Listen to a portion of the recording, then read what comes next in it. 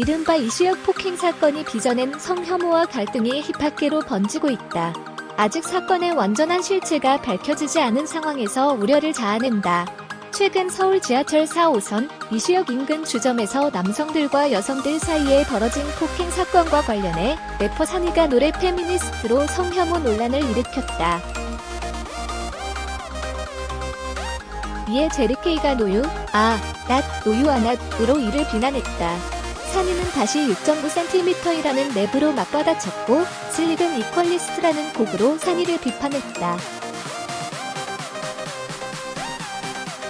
아직 사건이 해결되지 않은 상황에서 일단 힙합 가수와 래퍼들이 서로를 공격하는 것은 바람직하지 못하다는 비판적 시선이 나온다. 엔터테인먼트부